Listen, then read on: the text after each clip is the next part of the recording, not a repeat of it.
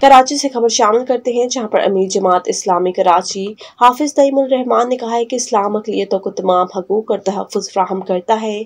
आपके दौर खुलफाए राशिदीन के दौर में भी अकलीतों को उनके मुकम्मल हकूक दिए गए। इस्लाम सिर्फ़ मज़हब नहीं, बल्कि एक मुकम्मल निज़ाम हयात है, जिसमें बिला तफरीक, रंग और नस्ल हर शख्स को उसके हकूक दिए गए हैं। अकलीती बरदरी का सरकारी अदारों में पाँच फ़ीसद कोटा, जमात इस्लामी का ही मुतालबा है और हम मिनोरिटी विंग के इस मुतालबे की मुकम्मल हमायत करते हैं। जमात इस्लामी का मेयर आएगा तो अकलीती बरदरी के हकूक भी दिलवाएगा। इन ख्याल का इजहार उन्होंने अदारा नूर हक में वर्ल्ड मिनोरिटी डे के मौका पर जमात इस्लामी कराची के मिनोरिटी विंग के तहत मिनोरिटी डे कॉन्फ्रेंस से खिताब करते हुए किया।